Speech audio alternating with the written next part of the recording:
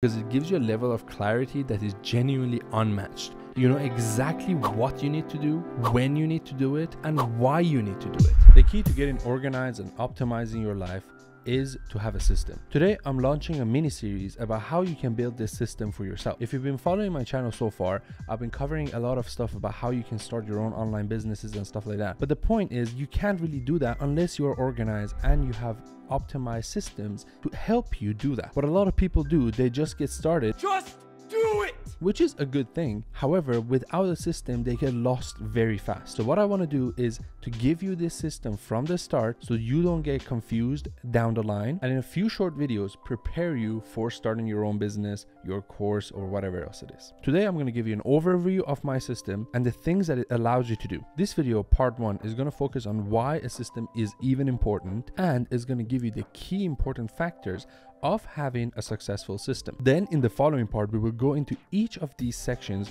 one by one, explain the databases, how I connect everything together, and how I automate 90% of the whole thing so that I literally only spend around 10 minutes a day using this system and around 30 minutes a week just to optimize it. I use Notion exclusively for basically everything I do, from running businesses to doing my studies, tracking my diet and daily tasks, and so on and so forth. One more note is that when I'm gonna teach you this, I'm not really gonna show you where to press and how to do things, because at each part I will include my Notion template down below so you can download it and follow along if you want. Let's get into it.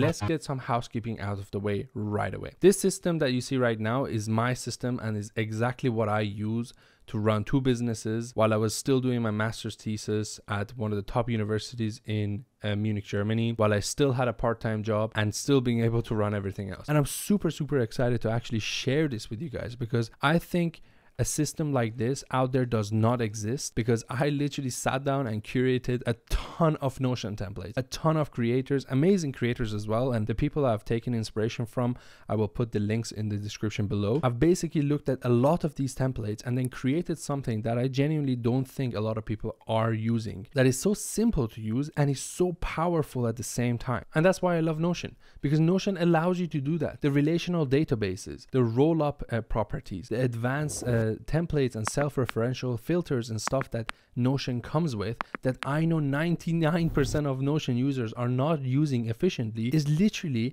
gonna allow you to do everything automatically. You set everything up once and then you only spend very, very, very minimal effort just using it. The way I've implemented Organize and Optimize is literally one single page in Notion. One of the key factors of a successful system that you can implement all of your life and business on is that it is simple to use. And that's why this is the way I've implemented it. Everything, all of my databases are literally on this single page. And this is exactly what you will learn. I will tell you how you can set it up. We will talk about specific aspects of the properties, for example, that I've implemented and why I've implemented it like that. And then you will do it yourself. Every time I start to actually explain this system to anyone around me, I always start from areas, then go to values and goals. Then based on those, we create projects and tasks and then integrate those into our daily plan. To make this a bit more understandable for you, I've actually created this diagram. What you can see here is the overall structure of organize and optimize. As you can see, we have areas and then from areas, we create some values. From values, we create some goals. Based on those goals, we create some projects, which themselves have a lot of tasks in them. And then we might also have habits and they have multiple habits in them. And that's all implemented in this daily plan. Now, how does that actually look? Areas are things that do not have an end date and can be ongoing domains in your life. For example, health and fitness is an area in your life that you might care about and it doesn't have an end date. You always, constantly, throughout your life, have to look into it. Personal finance is another one of them. Your mindset, productivity, hobbies, friends, traveling, all of these things are specific areas that you are interested in and they do not have an end date. So the first thing that you see here is I have a database called areas and I've split it between personal and business. So in my personal, for example, I have relationship, home, health, personal finance. And in my business, I have the businesses and I have investing, uh, YouTube, or whatever else in between. Then based on those areas, what I do next is that I go and create some values. Values are things that ultimately will make you happier for the foreseeable future. I would say somewhere around five years or less, because more than that, uh, sometimes your values in life do change. So when I'm 25, one of my values is to, for example, travel a lot. But when I'm 30, then my value might change to having a family. So these things might change. So that's why I usually set the values at a five year period. And the way we define values and goals will be covered in a video in the future. But right now, what I just want to show you is that from the areas, we can come and create some values. So as an example, in the area of health, I can come and say, feel healthier and look good in the mirror and love your body. This can be a core value, something that I genuinely care about when it comes to the area of health. In the area of mindset and stoicism, for example, which I care about, I can create a value called control your thoughts, feel less anxiety, feel more fulfilled and consistently learn new things. Again, as this video is an overview, I don't want to get too deep into it, but based on those areas, we just created some values and based on those values, we can now create some goals.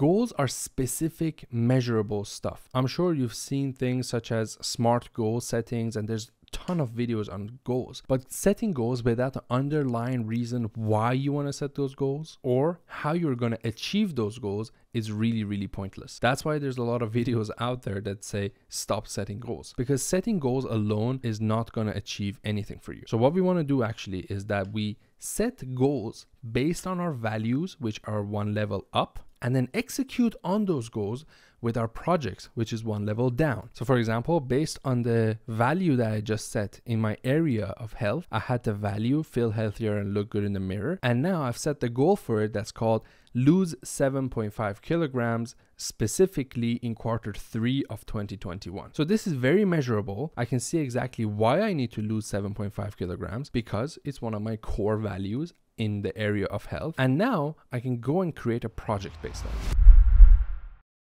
And that's exactly what we do next level up and it's called projects. And in my project list, I can, for example, create a project called learn about losing weight the right way and exercise. I can put an energy level for it and then relate it to the goal and the values that I just talked about. So the things that you're actually going to work on in your quarter or in a specific finite period of time is all defined and pushed forward based on your areas and values and goals. Now, here's where actually gets really interesting. We went through this process of areas, values, goals, and projects and created things that we want to execute on. We know we want to do these projects specifically in the next quarter, for example, because it will make us ultimately happier. So, based on those projects now, we can go and create some tasks and relate our tasks to our projects.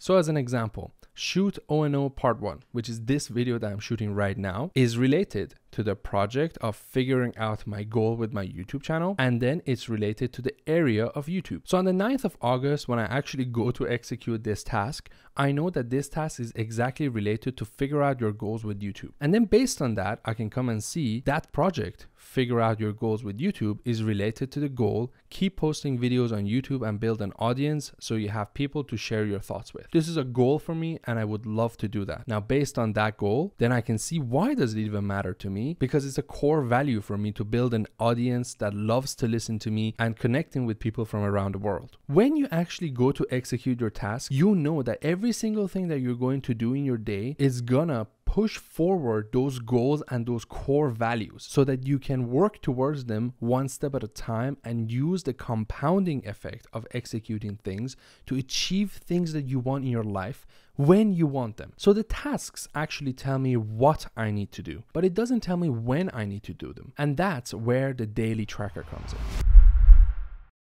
The daily tracker actually focuses on executing tasks and habits and the things that you want to do in your day in specific time periods that is optimized for efficiency. So, for example, I know I am more creative in the mornings. So, when I have a creative task, such as writing a script, such as shooting a video, then I will schedule them in the morning so that I can do those things in the morning. And in the afternoon after lunch, I know that I'm going to be a bit more lazy. So I'm going to focus on more organizational tasks by just sending some emails out and stuff like that. So for example, we can look at the daily plan. As you can see, this is for Monday, calendar week 32, 2021 and today is the August 9th and we can create a plan automatically by using Notion templates and pull in information from our task list and our projects list and so on and so forth automatically into this day plan. So for example, if from 9 o'clock to 12 o'clock I'm going to be executing my creative deep work session, in that I can actually automatically pull in the tasks that I need to do. So I can see exactly what needs to be done when. And then in my organizational period when I want to do some tasks, I can bring on exactly exactly the task that needs to be done in that period. You can even take this to the next level by integrating your habits into it, by integrating your meal preps and the food that you're going to eat, by integrating the exercises. And the cool thing is, this is all pulled in automatically for you. All I need to look into to execute those tasks and to push forward my projects, goals, and values is to actually just look at the daily tracker, open up the task that I need to get done on that day. And as you can see, everything is pulled in automatically for you for that specific day. Don't worry about setting these up. The point of this video is to tell you why it is important to have a system like this and how powerful it is because it gives you a level of clarity that is genuinely unmatched. You know exactly what you need to do, when you need to do it, and why you need to do it. And the last one, the why, is so important because it tells you why you're doing that task. Why does it even matter? It matters because it's a project and that project is pushing forward a goal and that goal is pushing forward a core value in your life. So those are the main organizational stuff. On top of that, we also have the knowledge hub where we actually capture everything as our knowledge management system. I also produce YouTube videos and for example, blog posts and stuff. So we also have a content tracker where we actually pull all the information that we capture and then create new stuff with it. I admit the initial setup might look a bit scary, especially if you're not a Notion expert, but don't worry about this. The template is there exactly for this reason. And in the following videos, I will tell you exactly what you need to do as I'm doing it with you so that you don't get lost. But the point is, by the end of this mini series, you have created your areas. You would have created some core values in those areas and then set your goals for the next quarter and the quarter after that, for example, based on those values and then created projects to go and achieve those goals. And then every week, for example, you can create your tasks based on your projects and then integrate those tasks, which tell you what to do, into your daily tracker, which tells you when to do them. Finally, the cherry on top, we will also do a personal knowledge management system that is literally your second brain. You can put everything in it, you can organize it, and you can basically use the content and the information that you've captured to create new videos, to be more creative, create blog posts, newsletter, or whatever else in between. So this is part one of eight in this mini series. And from next video, the video format will be quite different where we actually sit and implement everything together. And in the next video, we're going to focus on areas, values, and goals. So by the end of it, you would have set your areas, you would have set the values that you care about, and you have set your goals. That's about it guys. I hope this video gave you some clarity as to what you're going to learn in this series and I'll catch you guys very soon in the next video. Peace.